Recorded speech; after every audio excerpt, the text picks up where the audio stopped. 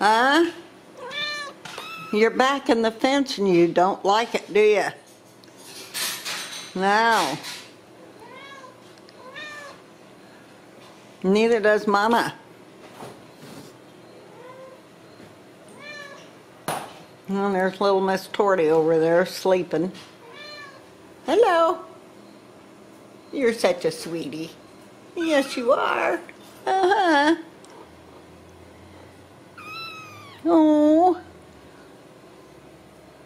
Goodness. It's just a rough life, isn't it?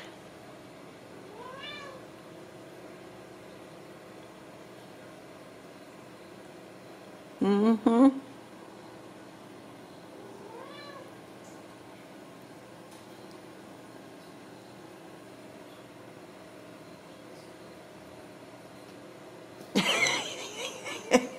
Make sure you wake her up.